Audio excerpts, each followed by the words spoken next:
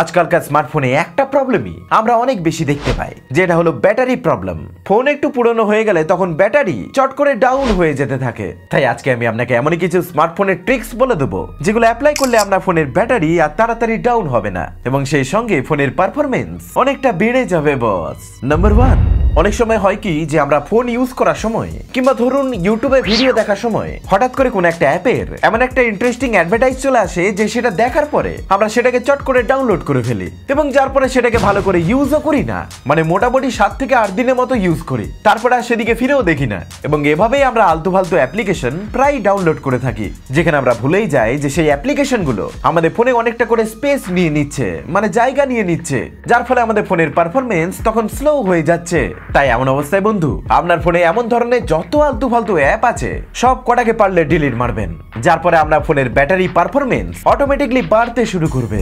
Number two যেভাবে আমাদের heart এবং ব্রেনের প্রায়োরিটি হয়ে থাকে, আমাদেরকে বাঁচিয়ে রাখা। ঠিক তেমন ভাবে আমাদের ফোনের ব্যাটারি কাজ হয়ে থাকে, আমাদের ফোনটিকে বাঁচিয়ে রাখা। কিন্তু আজকে আমরা আমাদের সকালের গুড মর্নিং মেসেজ থেকে রাত্রিতে গুড নাইট মেসেজ পর্যন্ত সারা দিন ফোনটাকে ইউজ করতেই থাকি। এবং যখন সেটা ব্যাটারি ডাউন হয়ে যায়, তখন রাত্রিবেলায় ঘুমানোর আগে আমরা সেটাকে চার্জে দিয়ে ছেড়ে দিই, যাতে ফোনটা আড়াই থেকে তিন ঘণ্টার মধ্যে ফুল চার্জ হয়ে যায়। কিন্তু তারপরেও সকালে আটটা থেকে নটা অবধি। মানে যতক্ষণ না আমাদের ঘুম ভাঙছে, ততক্ষণ সেটা চার্জে লাগানোই থাকে। এরপরে বন্ধু, ফোনে অটো কাট সিস্টেম থাকলেও মানে ফুল চার্জ হওয়ার পরে আমরা ফোনটা অটো কাট হয়ে গেলেও লং টার্মে গিয়ে আমরা ফোনের ব্যাটারিতে প্রবলেম দেখা দিতে পারে। এই জন্য আপনি ফোন পার এক এহসান করনা ফোনটাকে সারা রাত্রি প্লিজ চার্জে দিয়ে ছেড়ে দেবেন না।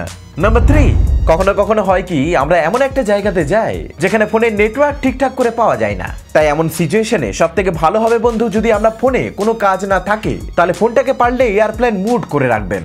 এতে আমরা দুটো লাভ হবে। ফোন চালু থাকলে সেটা কারণে, অকারণে সিগন্যাল ক্যাচ করতে গিয়ে আমরা ফোনের ব্যাটারিকে শেষ করতে থাকবে এবং সেই সঙ্গে সঙ্গে আপনি তো জানেনই, যখন খুব নেটওয়ার্ক প্রবলেম হয়, তখন আমাদের ফোন সিগন্যাল ক্যাচ করতে গিয়ে অনেক বেশি বেশি করে রেডিয়েশন রিলিজ করতে থাকে। সো ফ্লাইট মোড অন থাকলে আপনাকে এই প্রবলেমগুলোকে ফেস করতে হবে না। নাম্বার ফোর আমরা যখন বাড়ির বাইরে যাই, তখন আমরা আমাদের মোবাইলটাকে আমাদের সঙ্গে সব থেকে সেফ জায়গাতে রাখি।